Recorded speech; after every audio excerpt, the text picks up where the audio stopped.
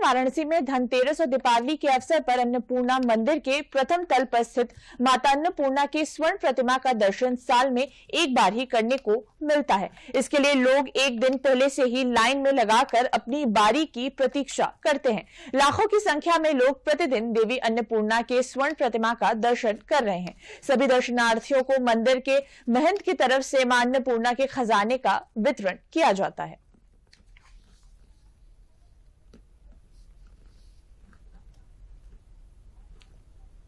काशी का अति प्राचीन अन्नपूर्णा मंदिर है, जहाँ पर साल में पाँच दिन के लिए माँ अन्नपूर्णा का मंदिर खोला गया है। ये अति प्राचीन परंपरा है।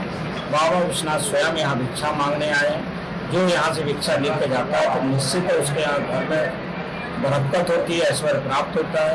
माता अन्नपूर्णा का मंदिर सुबह साढ़े तीन बजे खोला गया। पहले पूजा अर्चना हुई, पहले भूमि जी की पूजा हुई, फिर लक्ष्मी जी की पूजा हुई, फिर अन्नपूर्णा जी की पूजा हुई, बाबा विश्वनाथ की पूजा हुई।